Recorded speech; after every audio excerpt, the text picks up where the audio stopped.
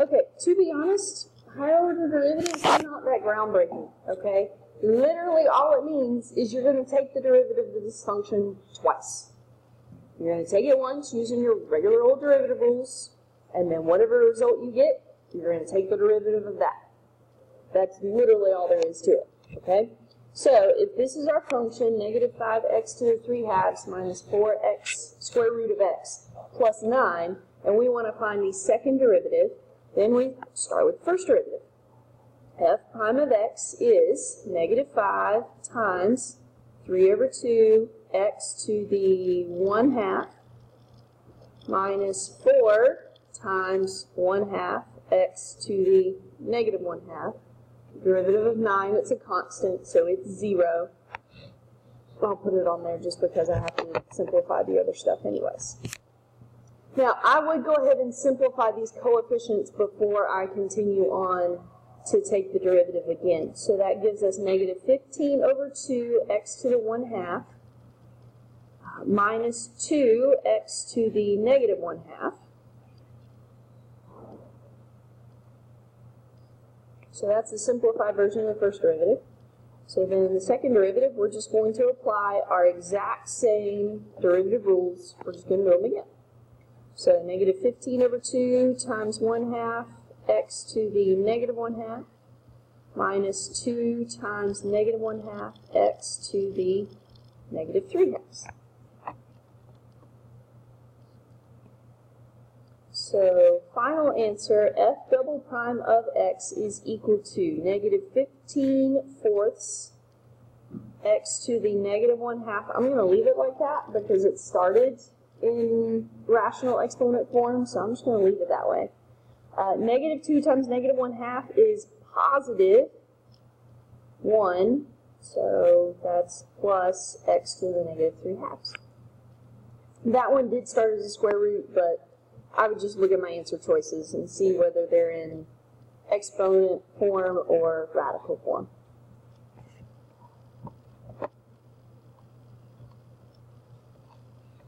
Okay, let's look at a rational example. Okay, y is equal to 7 over x. y is equal to 7 over x, and we want to find y triple prime, so the third derivative.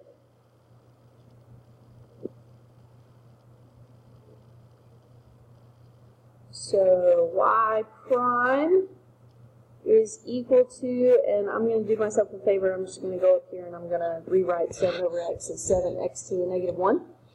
Alright, so y prime is 7 times negative 1 x to the negative 2, which is negative 7x to the negative 2. y double prime, negative 7 times negative 2x to the negative third, which is 14x to the negative third. y triple prime, the third derivative is 14 times negative 3x to the negative fourth, which simplifies to negative 42x to the negative fourth, or if you want to fix that negative exponent since it started as a rational function, move the x to the negative fourth to the denominator to make it positive fourth.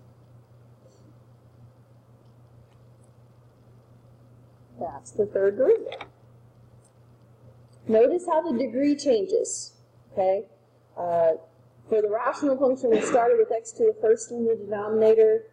The third derivative ends up with x to the fourth, so it's counting up one every time. That's because it's uh, in the denominator.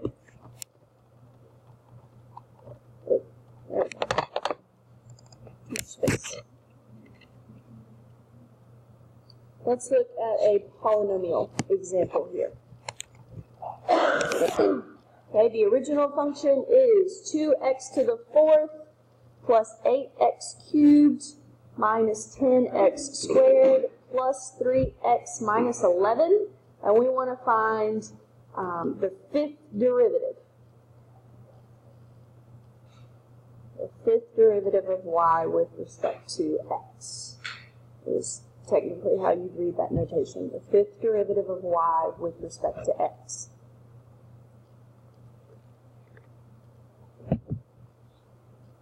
Does anybody have a conjecture about what's going to happen before we do it? What happens when we take the derivative of a polynomial? Every time the degree drops, so if we take this derivative five times, and we started with the fifth degree, or fourth degree, excuse me. Negative. Maybe not negative. It's going to be zero. Okay, so let, let's observe that that happens, but that's that's a little nugget you should tuck away there. Um, so dy over dx, and I'm going to kind of do multiple steps in one. I think we can handle that with polynomials. Uh, the derivative would be 8x cubed plus 24x squared minus 20x plus 3. I just didn't show all the intermediate steps there. So d squared y over dx squared, the second derivative of y with respect to x is 24x squared plus 48x minus 20. The third derivative of y with respect to x is 48x plus 48. The fourth derivative of y with respect to x is equal to 48. So finally, the fifth derivative of y with respect to x is 0. Now, that works with polynomials because every time a polynomial reduces in degree, every time you take a derivative, it reduces in degree. Um, so if you're asking to take a derivative that's one degree higher than the polynomial, then your answer is going to be 0. Um,